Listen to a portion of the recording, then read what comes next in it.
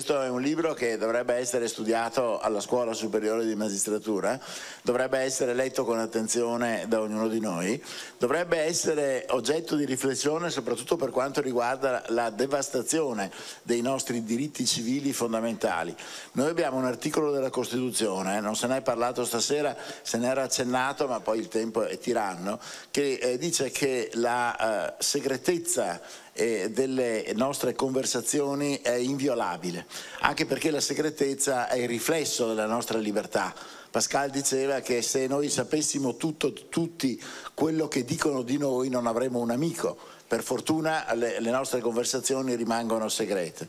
Questa, questo diritto primario è stato vulnerato dalla magistratura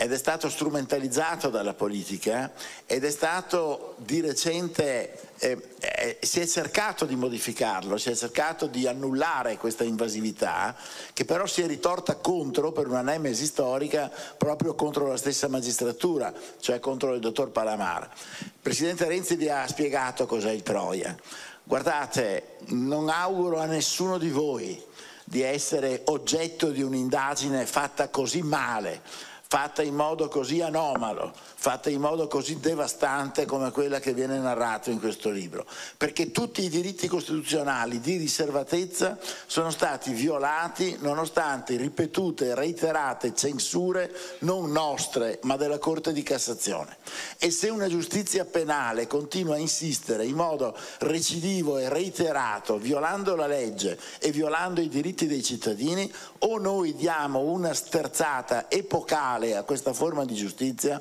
oppure senza saperlo o purtroppo sapendolo ci abbiamo verso una forma strisciante di dittatura dell'informazione.